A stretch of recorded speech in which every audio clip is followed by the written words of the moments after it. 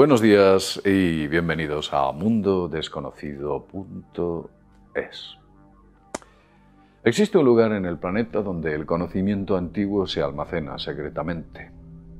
Una biblioteca o archivo que guarda confidencialmente esa parte de la historia que no puede ser revelada, porque si fuera revelada caerían los muros de Jericó. Aunque quizás más que los de Jericó caerían los de Sodoma. Pero dejemos este punto. Ese saber se oculta en el subsuelo de un país que ostenta el dudoso honor de ser la última teocracia de Occidente. Me refiero al Vaticano. Sí, en sus estanterías, según la versión oficial, se almacenan 35.000 volúmenes de secretos. Pero sospechamos que esa cifra tiene que ser infinitamente mayor. 35.000 volúmenes prácticamente lo tiene cualquier pequeña ciudad de cualquier país en sus bibliotecas. Y pensemos que esas bodegas donde el Vaticano guarda todos sus archivos en el subsuelo tienen ni más ni menos que 85 kilómetros de largo. Si usted vive en Estados Unidos, quizás la cifra de 53 millas de largo le resulte más familiar. 85 kilómetros llenos de secretos, donde posiblemente no haya 35.000 libros, sino cientos de miles o quizás millones. Tan secreto es su contenido que incluso la publicación del índice está prohibida totalmente.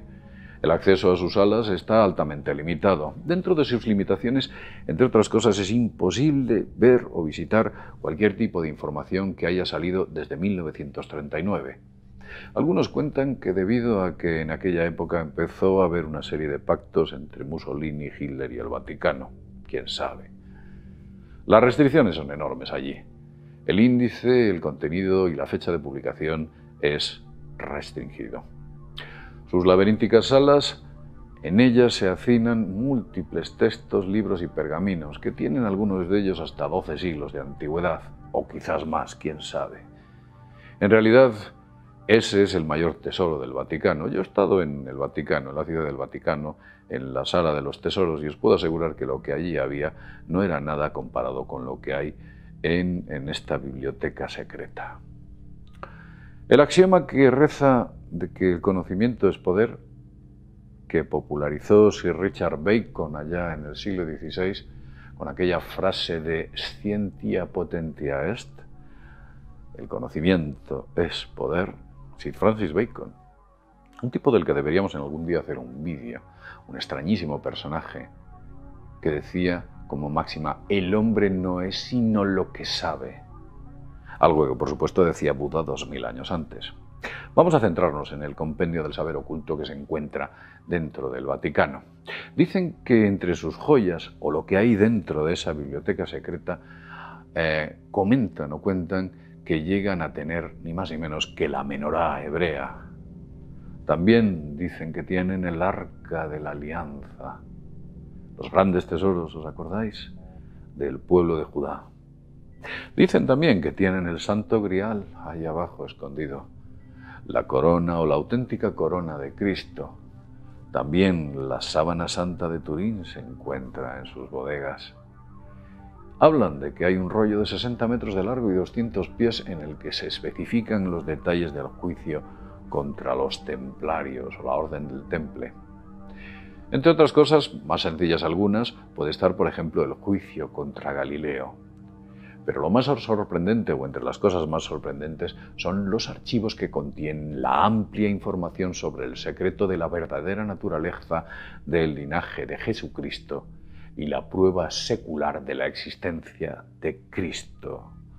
Algo de lo que se habló ampliamente en el libro El Código da Vinci, escrito por Dan Brown quien dicen que bebió, por supuesto, de ese famoso libro titulado El Enigma Sagrado, escrito por Henry Lincoln, Michael Weigand y Richard Leigh.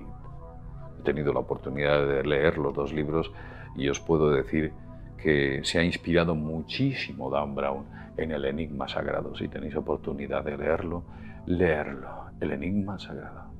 Bien, quizás dentro de las estanterías del Vaticano se encuentren entre otras cosas, las claves del asentamiento en Europa de esa estirpe merovingia de los últimos descendientes de Cristo, de los que algún día os hablaré en algún vídeo explicándoos mi teoría, ya que estuve o viajé por aquella parte de Francia donde supuestamente ellos florecieron, crecieron e incluso reinaron. Cuentan que también entre sus obras aparecen tratados de magia, libros ancestrales de hechizos, la prueba irrefutable de la existencia de Satanás, así como la forma de traer a sus huestes y demonios.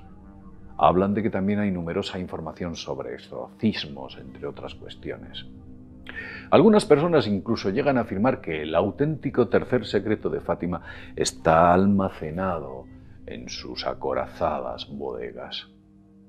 Sobre el tercer secreto de Fátima, si no lo sabéis os diré que fue una de las tres niñas que tuvieron la oportunidad de, presenciar en Portugal la aparición de la Virgen María o de los tres niños, ya que fue ni más ni menos que Lucía Santos y sus primos Jacinta y Francisco Marto, cuando se encontraron con la Virgen María, a quien les confió esos tres grandes secretos.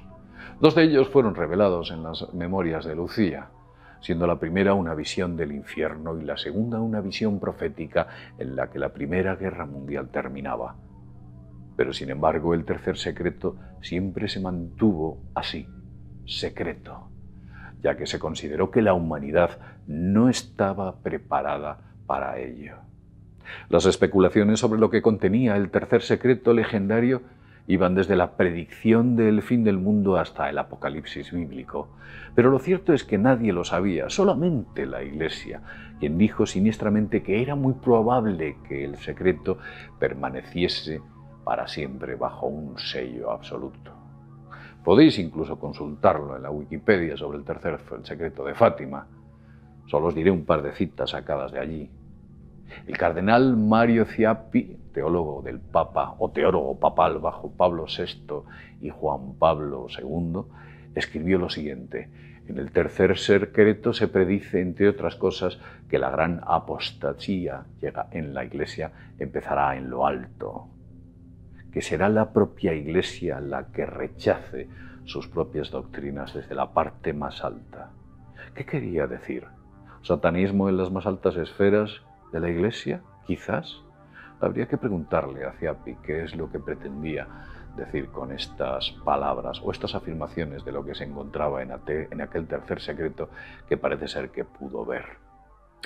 También dicen o cuentan que el 11 de mayo del año 2010 Benedicto XVI dijo al viajar en avión a Portugal para cumplir una visita pastoral que los sufrimientos actuales de la Iglesia por los abusos sexuales contra niños cometidos por sacerdotes forman parte de lo que anunció el tercer secreto de, Fátima. Literal, esto viene en la Wikipedia. Podéis ir allí y verlo.